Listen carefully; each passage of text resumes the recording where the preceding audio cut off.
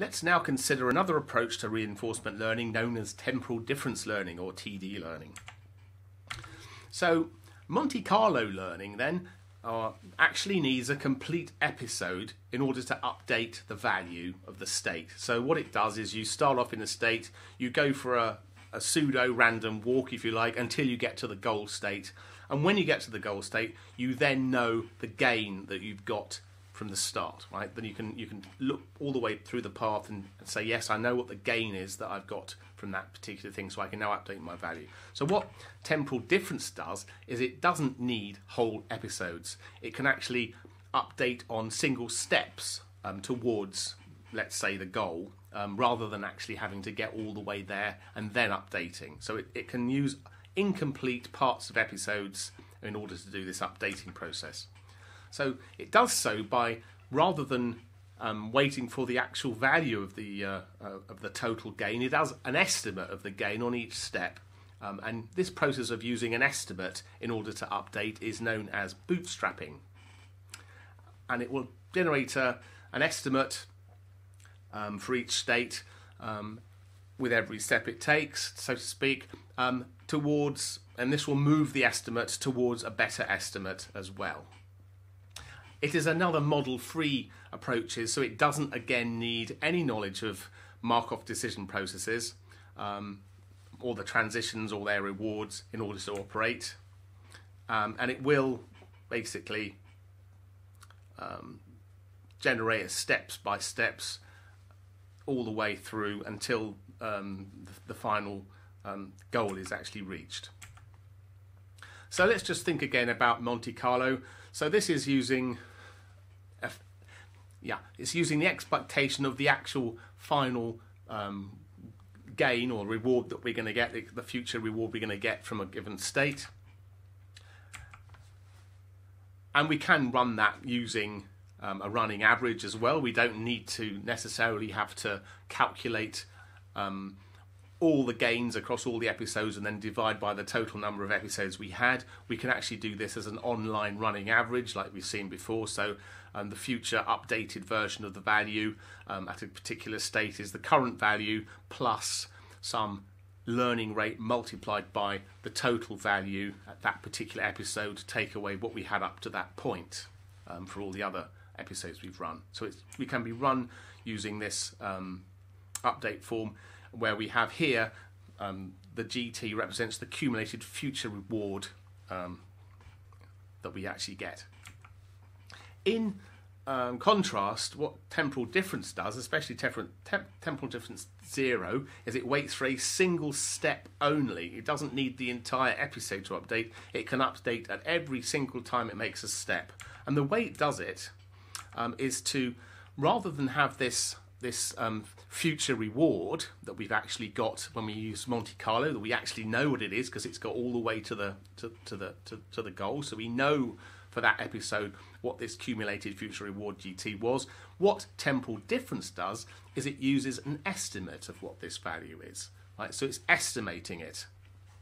Um, and it does the estimate on the basis of the immediate reward it got at the step and a prediction of the reward um, from the next state onwards all the way to the um, to, to, the goal, if you like. So it's broken it down in terms of what it actually knows it definitely gets, which is the you know from a single step, which is actually the immediate reward for that step, and then a predicting a prediction of what it thinks um, the next step is. In, sorry, the next state is actually worth, and that's what this why it's got this value here, right? So it's actually it's using a prediction of what the thing it's got it, um, from the next step. So this is the formula then that we have for this. We we have the um, the updated value of state st under a certain policy. Again, we always have to do it with respect to policy. Is the current value and then a learning rate multiplied by the immediate reward plus what we predict uh, for discounted reward coming, um, discounted total reward, which is the value of the next state that we end up in, take away the value of the current state we're in. So this is just the this this business here is just the the actual reward on the next step, and this is the predicted value discounted of being in the next state, take away um, the value of the current state, so it does this incremental um, empirical mean. So, because of this, um, we see that we uh, we have a an update which is basically just on the basis of another a single step, right? This is just a single step that we're actually making um, for this for this update. So if we actually look at that on terms of a backup diagram, we see what, what this is actually doing then is it's in a state ST, let's say, um, and then we make a single step, right? So we make a single, we take a single action, um, and we move to a single future state. We're not going all the way to the end, but on that single state, we get um, state transition we go from state S to ST plus 1, which is the next state. We get a reward for, for doing that, which is the local reward. And that's what this R plus 1 value is here. That's the actual value that we get from doing one transition from the state we're in to the next state. And then this, like I said, this term, this second part of the, of, of the term here is then basically the predicted value of the state that we get into, the, the S plus 1. So it's the, this is the value of the, of the, next state that we had from before, uh, and we just discount it if we want to. So we're just adding up then um, the particular step that we got from this reward here with what we think we know is the value of this state st plus 1, right? And then again, this is just the, the term to make sure it does it actually does the uh, the running average.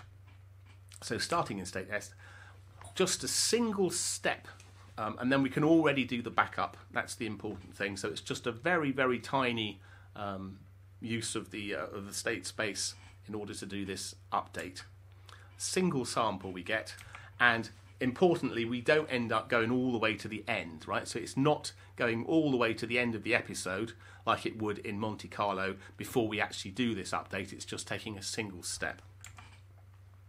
So um, here is what the, the algorithm then would look like um, as written by um, Sutton and Barto. Right, we start off with our policy pi that we need to evaluate. Um, we're going to initialize our values to some values. They can always, you know, they could be something arbitrary, it could be zero. And then what we do is we're going to run this through mul multiple episodes as always. Um, but we're going to start off with a state, right, in each episode, and then now, in each step of the episode, we're going to do an update. So, in, in, in, in an episode, first of all, what we do is we get an action from the state under the policy. So, we, we're in a state S. We use the policy to get an action A. Um, we take action A and we see what the reward is and what the new state is. And then we update the value function um, as being what it was um, plus um, a learning rate multiplied by the reward we actually just got on that particular transition from S to S prime. And then we add on, because basically what we want to do here for these two terms, R plus, plus gamma V S prime, is, is this is you know is basically that we want to know the, the gain at that particular point and it's just made up in this case of the actual immediate reward that we definitely know we get and then the, our best estimate of the value of the next state, which is given by what we currently had for the value of that state, so the value of, of S prime. And of course, that we take away the other value uh, that we had previously in order to get this to work as a running average.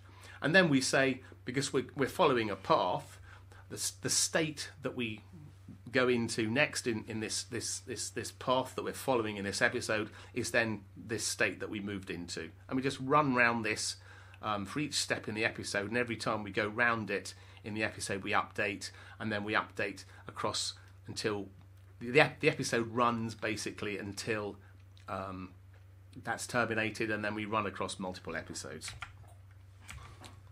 So,